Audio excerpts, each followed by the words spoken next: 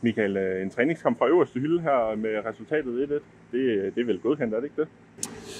Jo, jo, resultatet er jo rigtig fint, og jeg synes også meget af indholdet, som vi jo nok mest kigger på, også, også er, er fint. Altså, vi er jo lige midt i, altså nu, nu lige midt i, i, i den der periode, hvor man har en 4-5 ugers opstart, og den var vi lige midt i, altså den der gensynsglæde, hvor man egentlig er klar til at give den gas, og, og så begynder benene at blive lidt tunge, og man er lidt træt, og den har man så et par uger, og det er vi sådan lige midt i nu. Og, og så den sidste del af, sidste, del af den, og, og, øh, og der, er det, der er det meget tilfredsstillende at komme ind og, og også kan få resultater med, når man spiller træningskampe. Og en, en lidt opsamling på, på de seneste tre uh, træningskampe her. Hvad, hvad synes du sådan som helhed, du har set fra, fra truppen og, og de nye spillere, og ligesom de relationer, der skal, der skal dannes? Ja, og det er jo det, det, det, er jo det, det skal bruges til. At, at komme ud og spille på den store bane, som vi ikke har sådan de helt vanvittige gode muligheder i, i vores hverdag. Øh, at komme ud og, og blive øh, trykket lidt, også øh, i forhold til, at det var de to nedrykker og et, og et top 6 hold fra Superligaen i Randers. Og, så vi havde fundet nogle modstandere, som virkelig kunne, hvor vi skulle skærpe os også øh, i den del af spillet.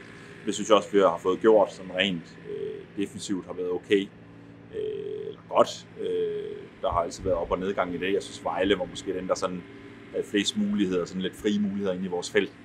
Øh, men ikke desto mindre fik vi holdt kampene tæt, og det er jo det, det handler om. Og også en af de ting, vi skal blive bedre med øh, mod de hold, som, som på papiret er, er bedre end os, eller har et bedre budget, når vi gerne vil konkurrere mod dem, så, så kræver det noget andet øh, i de kampe. Så det, var, det har været rigtig godt. Men på grund handlede det om at få noget fysik på og få puttet minutter på folk. Øh, de to første meget del, den sidste her, sådan lidt justerende til at kigge noget mere, altså lidt mere fremad på turneringen, men, men stadigvæk finde dem, der havde fået øh, lidt færre minutter, og sådan, så vi faktisk står nu efter tre kampe, og alle kan sige, at de har været med og været i spil og, og nogenlunde sådan inden for, for, for grænsen har ikke spillet for meget, men, men heller ikke spillet for lidt. Så, så det glæder os selvfølgelig sådan her halvanden uge før turneringen, at, at vi har ramt, ramt et godt niveau. Altså dem, der har dem, der kommer til at mangle lidt, det er selvfølgelig dem, der lige har været og skulle spare lidt, eller skulle doseres lidt.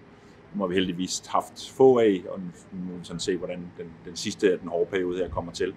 Det, det, det er jo sådan, sådan er det jo lidt i den periode her. Heldigvis har vi fået trænet godt fysisk på, som jeg tænker er meget normalt i det, og vi har vel egentlig også øh, af, øh, undgået sådan de, de, de større ting, altså de ting, der er kommet, øh, har ikke ville kunne være undgået alligevel, eller et lille twist eller en om, eller hvad der nu har været, så, så holder man lige en pause i en periode, så er man klar til at give den gas igen, så vi er, vi er kommet godt igennem den, øh, den første del af opstarten har den, at vi være skal afslutte i løbet af ugen her.